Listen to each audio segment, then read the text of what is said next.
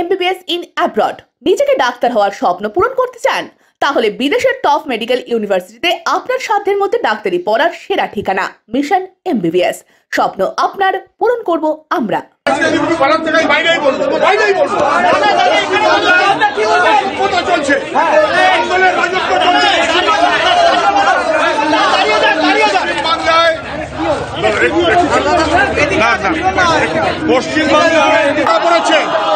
মাথাটা বিগড়ে গেছে মাথাটা বিগড়ে গেলে যা হয় তাই যারা অপরাধী, যারা দুর্নীতিগ্রস্ত, পুলিশ তাদের পাহারা দিচ্ছে আর যারা শান্তিপূর্ণ ভাবে নিজেদের চাকরির দাবিতে স্বচ্ছতার সঙ্গে আন্দোলনে আছে মোবাইলটা তাদের পেটাচ্ছে পুলিশ তাদের জেলে নিয়ে যাচ্ছে এমনকি মেয়েদের পর্যন্ত যেভাবে কালকে আজকে অত্যাচার করা হয়েছে সমাজের সীমা অতিক্রম করছে। আজকে যখন সল্লেকে কি একশো চুয়াল্লিশ। সিটি সেন্টারে নেমেছেন কোথায় নামেছেন? কোথায় যাবেন? কার কাছে যাবেন? Arrest. Palash Das arrest. Saydeep arrest. Madhuja arrest. Meenakshi arrest. Pratikur arrest. ফাজলাম হয়ে যাচ্ছে ফাজলাম হয়ে যাচ্ছে। এসব জিনিস চলবে না। মুখ্যমন্ত্রীকে শুধু এটা বলে দিন যে সমস্ত চোর চোর বাটপাটদের নিয়ে মুখ্যমন্ত্রীর অপার সংসার চলুক। আপনারা এবারে আপনারা কি আদালতে যাবেন? যেভাবে গ্রেপ্তার করা আমরা আমরা বলব হিম্মত থাকে পুলিশ ওদের গ্রেপ্তার করে রাখুক।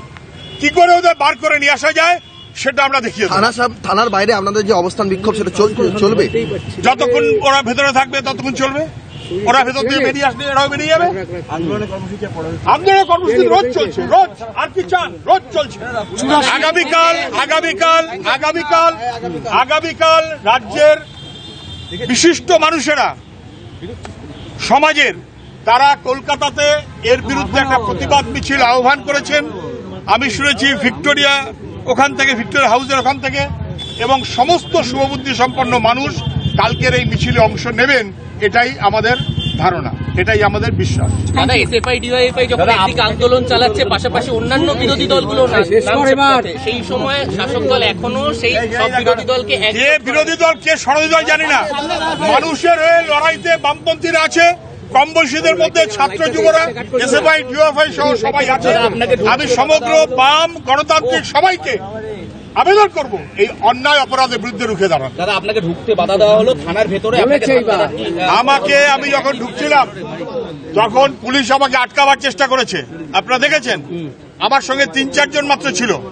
আমি বলেছিলাম যাব কারুর খারাপ কথা বলতে পারি না। কারুর পিতৃপুরুষের যোগ্যতা হবে না আটকে রাখার। কোনো পুলিশ আটকাতে পারবে না। কেন আটকাতে পারবে? ওরা ভাবছে গাইড চোরে সব ঠেকাবে ঠেকাতে পারে না। আমরা গেছি কথা বলেছি।